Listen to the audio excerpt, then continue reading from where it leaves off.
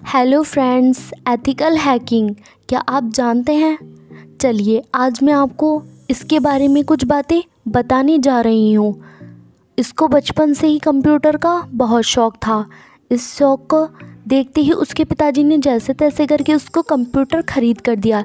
लेकिन इसके चलते ही वह टेंथ क्लास में फ़ेल हो गया। कुछ लोगों ने तो यह भी कहना शुरू कर दिया, जो टेंथ को पास ना कर सका, वह अपनी ज़िंदगी में क्या कर पाएगा? पर उसको अपने पैशन पर पूरा विश्वास था। एक दिन उसने एथिकल हैकिंग का सेमिनार लिया और उसने डिसाइड कर लिया कि एथिकल हैकिंग में ही वह अपना भविष्य बनाएगा।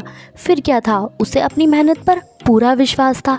आज वह लड़का बड़ी बड़ी कंपनी जैसे फेसबुक गूगल एप्पल माइक्रोसॉफ्ट के प्रोग्राम में कमियाँ ढूंढकर करोड़ों रुपए कमाता है और उसके अलावा साइबर क्राइम में पुलिस की मदद भी करता है और उस लड़के का नाम मनन शाह है। ऐसी ही वीडियो को देखने के लिए हमारे चैनल को लाइक कीजिए, सब्सक्राइब कीजिए। Thank you.